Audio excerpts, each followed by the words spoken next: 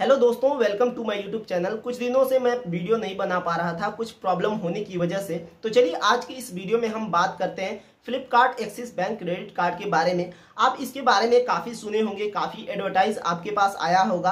प्रचार एक तरह से बोल सकते हैं, प्रचार आप देखे होंगे कि ये लाइफ टाइम फ्री है, इसमें कोई भी ज्वाइनिंग फ़ीस कोई भी एनुअल फ़ीस नहीं लगता है। लेकिन क्या ये सच्चाई है? इसमें रियली कोई भी ज्वाइनिंग फ़ीस कोई भी एनुअल फ़ीस और किसी भी तरह का हिडन चार्ज नहीं है। आज की इस वीडियो में हम इसी के बारे में बात करेंगे और इसमें कितना इंटरेस्ट रेट लगता है, ये भी आपको हम बताएँगे और आप इसके पीछे की सच्चाई जानकर हैरान हो जाएँगे। तो चलिए वीडियो को करते हैं स्टार्ट और वीडियो पसंद आए तो लाइक कीजिए और चैनल को सब्सक्राइब कीजिए ठीक है?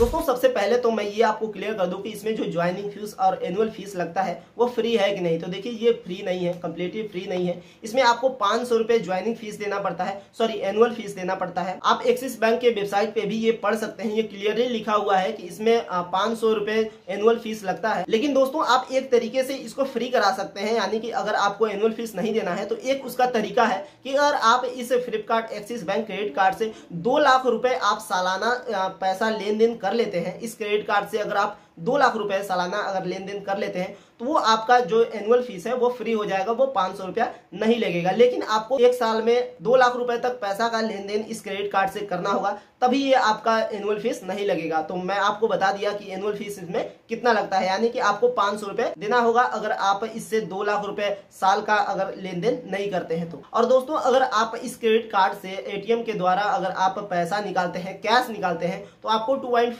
का इंटरेस्ट रेट भी इसमें देना पड़ता है। और दोस्तों इसमें जो फाइनेंस चार्जेस लगते हैं वो 3.49 परसेंट लगभग साढ़े तीन परसेंट के आसपास इसमें इंटरेस्ट रेट देखने को मिलता है। और अगर आप लिमिट से ज़्यादा पैसा स्पेंड करते हैं तो इसमें तीन परसेंट का इंटरेस्ट रेट आपको देना होगा जो कि कंपलसरी है। आपको तीन परसेंट का इंटरेस्ट रेट देना ही होगा अगर आप ज़्यादा पैसा स्पेंड करते हैं इनके लिमिट से ज़्यादा पैसा स्पेंड करते हैं तो, तो इस Flipkart Axis bank credit card में इस तरह के चार्जेस लगते हैं जो आपका एनुअल फ़ीस है वहाँ पे पाँच सौ रुपया आपसे एनुअल फ़ीस लिया जाता है। लेकिन अगर आप दो लाख स्पेंड कर देंगे तो फ्री हो जाएगा लाइफ टाइम फ्री हो जाएगा, इसमें कोई प्रॉब्लम नहीं है। और इंटरेस्ट रेट भी आपको देना होता है इसमें। लेकिन एक बात इसमें अच्छी भी है कि इसमें आपको काफ़ी सारा कैशबैक भी देखने को मिलता है। जैसे ऑनलाइन शॉपिंग है, जैसे फ्लिपकार्ट मैंत्रा टूगुड जैसी वेबसाइटों पे अगर आप ऑनलाइन शॉपिंग करते हैं, पैसा ट्रांसफ़र करते हैं, पैसा ट्रांजेक्शन करते हैं तो वहाँ पे आपको पाँच परसेंट का कैशबैक इंस्टेंट देखने को मिल जाएगा। तो इस तरह का इस क्रेडिट कार्ड में बेनिफिट भी मिलता है। तो उम्मीद करता हूँ आपको समझ में आ गया होगा कि किस तरह का इसमें चार्जेस और फ़ीस लगता है। आप इस क्रेडिट कार्ड के बारे में क्या सोचते हैं कमेंट बॉक्स में ज़रूर बताइएगा।